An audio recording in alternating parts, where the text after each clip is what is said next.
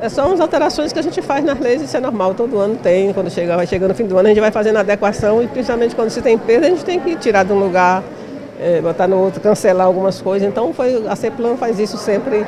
Este ano a gente teve que fazer já agora, às vezes era em novembro só, e fizemos já agora por conta das perdas do, do ICMS, a gente tem que se adequar. Não mexe com os poderes. Agora, o próximo orçamento que vai começar a ser discutido agora, né, já foi, é, hoje está sendo é, lançado para os órgãos é, verem qual, o que lhe cabe e se adequar àquilo que lhe cabe, os órgãos do executivo.